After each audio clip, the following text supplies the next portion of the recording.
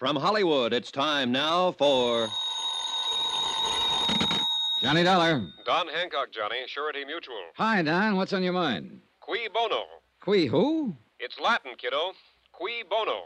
Who benefits? All right, I'll bite. Who does? A little doll named Luann Parker down in Green Pass, Virginia. A $100,000 worth, Johnny. Double indemnity. Wow, what did she do? Answer the question? She sure did, with a 38. Two bullseyes right in her foster papa's heart. Well, then if it's an open and shut case, you don't oh, need. it's that all right. She's the gal what done it. She admits it. But the coroner is about to call it an unavoidable accident. Seems little old Magnolia Blossom thought Papa was a prowler. And what do you think? Just what I said. Cui bono. So? I think you'd better put yourself on the payroll.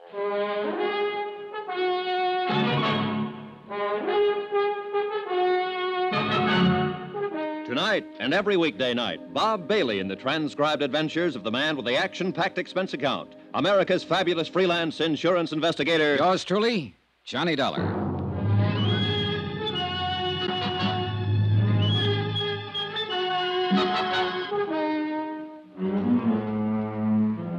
Expense account submitted by Special Investigator Johnny Dollar. To the Home Office, Surety Mutual Insurance Limited, Hartford, Connecticut. The following is an accounting of expenditures during my investigation of the Cui Bono matter.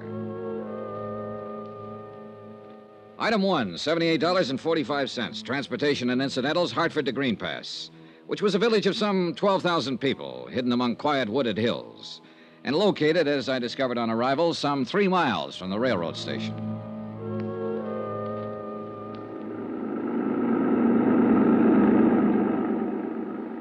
Nice weather we're having. Yeah, it's fine. You from New York? Well, near there, Hartford. Bet you ain't been having weather like this up there. No, no, it's been pretty cold. You say your name was Dollar? Yeah, Johnny Dollar. I'm Jake Deagley. You here on business? That's right. Well, I wouldn't count on finding much here. Green Pass is what you might call a one horse town. One hotel, one bank, one taxi. That's me. One newspaper. And one county attorney. Yep, just one. Co- oh. And you've heard about our tragedy. About Dan Parker getting shot. Yeah, that's why I'm here. I'm an investigator for an insurance company. I see. Well, it was a terrible thing. It was. Oh, doggone it, doggone it. If old man Hawley don't fix up them fences, he's going to be short a cow one of these days. That's the third time this week they've been out the road. How did people around here feel about Dan Parker? Was he well liked? Well, he'd been reelected for five straight terms. No personal enemies? Not a one. There ain't a man in Green Pass that. Hey, what difference does it make whether he was well liked? You know how he was killed, don't you?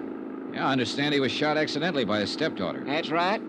And what difference does it make whether he had any enemies? Well, none, probably. But when an insurance company holds a policy as large as the one they carried on Dan Parker, they want to know the full circumstances surrounding the death. Well, there ain't no mystery about it, Mr. Dollar. That poor girl took him for a burglar and shot him, that's all. And it might have near broke her up.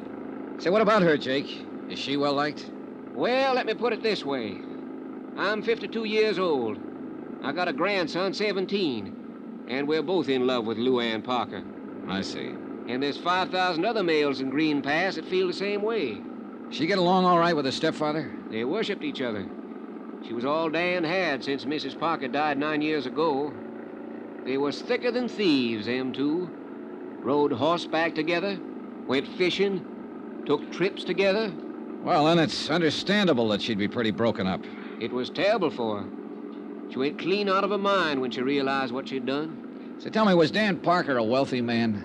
No, fairly well to do for these parts, but no ways wealthy, the way you'd think of it in New York, for instance. Then I imagine the Parker girl would think of a $100,000 as being a pretty sizable fortune. Mr. Dollar, let me give you a little advice. Oh? You got a job to do, fine. But if I was you, I'd be mighty careful how I went about doing it. Why so? Well, people up here in the hills are kind of standoffish at best. And if you go around hitting what you seem to be hitting at, you're going to get yourself a mess of trouble. I don't deal in hints, Jake. All I'm trying to do is dig up all the information possible. Let the company know exactly what happened.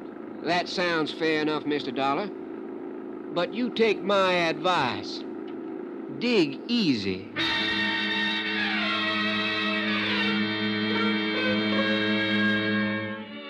Jake Digley's one man taxi service dropped me off at the town's one man hotel.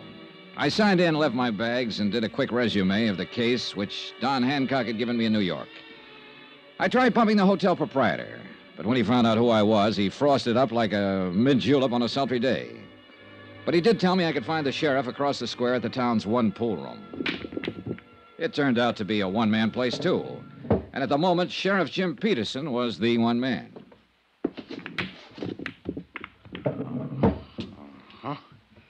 Oh, glad to know you, Mr. Dollar. Uh, just second now. Uh, watch me get that there three ball down there. Good shot. No, that was a setup. You couldn't miss one like that if you wanted to. Uh, got something on your mind, sir? Yes, I'm an insurance investigator. I'm here in connection with the Parker case. I'll see. Doggone it. Well, I don't think I'd call it a case exactly. It was an accident. Ain't no mystery about it, far as I can see. I didn't mean to imply that there was, Sheriff. As it stands now, this is a routine investigation, nothing more. I just like to get the facts, find out exactly what happened, in order to furnish my company with the report they need to pay the claim. I'd uh, appreciate your cooperation if you've got the time. Ooh, I got the time all right, sir. Yeah, well, how much you know about it? Well, uh, not much. Dan Parker, as I understand it, was your county attorney here. His stepdaughter, Luann Parker, who is the beneficiary under our policy, mistook him for a prowler, shot him, and killed him. Well, that's about it. Uh, well, the thing happened three nights ago. Dan been up to Richmond on business. He come back in on a midnight train. He walked down from the station. Walked three miles at that time of night? Well, it's a little over two to his place. It's outside of town a ways. Well, that's still quite a walk. Why didn't he call this uh, taxi driver, Jake Digley? Yeah, well, he probably did try to, but Jake wasn't expecting any business, so he took a night off. He was out at Happy Hollow. See, that's a kind of a roadhouse about five miles up the highway. Does Dan's daughter have a car? Yeah, she does. But I figure he didn't want to bother her at that time of night. See, he wasn't due in till the next afternoon.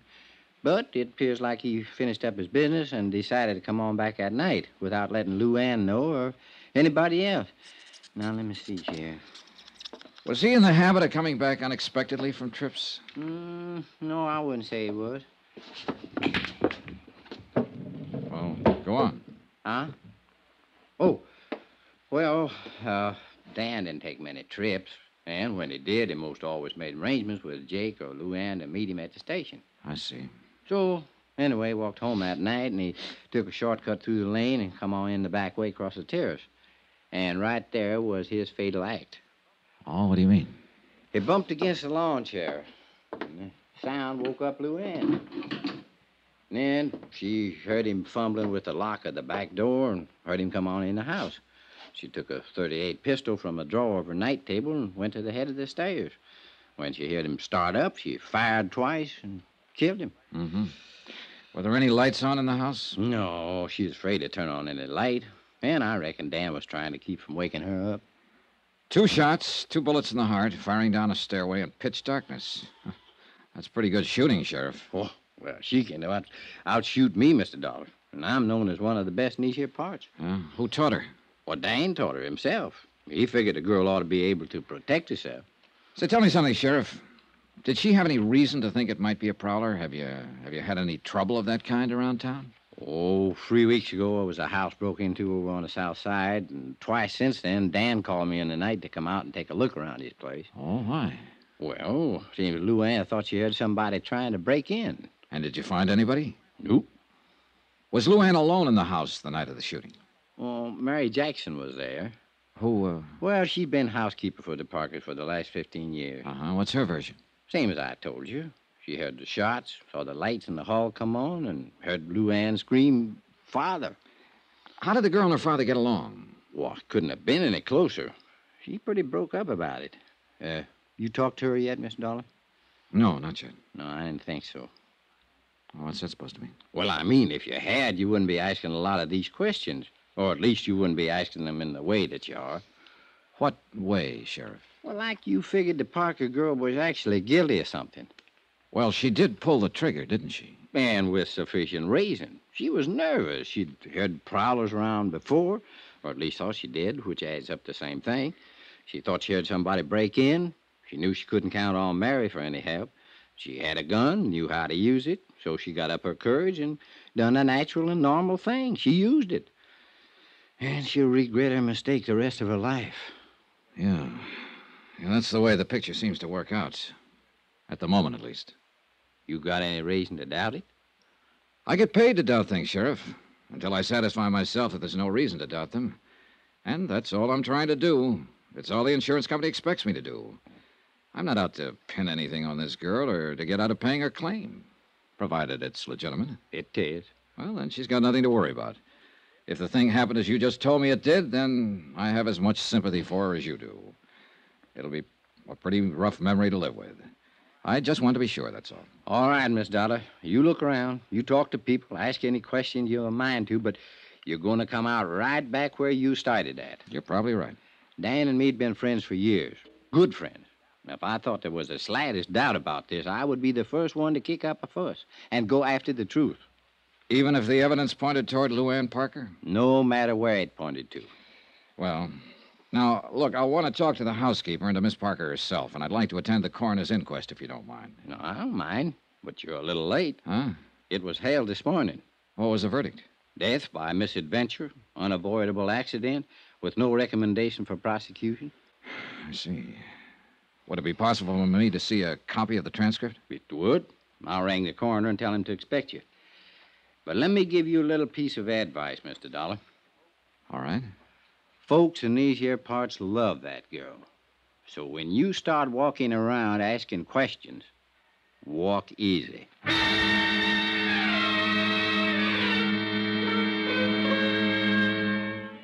I went over the coroner's report and found nothing. Luann had been called as a witness and appeared to have answered all questions in a frank and a straightforward manner. I checked her school record. She was regarded as an unusually bright girl and had stood at the head of her class all through high school. She'd been elected cheerleader in her junior year, won the lead in the class play, had been chosen queen of the senior prom. She was the town's darling. They worshipped her. And I could see that casting any aspersions on her would be like an attack on the crown jewels. I began to feel like a peeping Tom, like a louse, like I was wrong. And yet, cui bono? Who benefits? Two bullets in a man's heart and a $100,000 payoff. I had to be sure.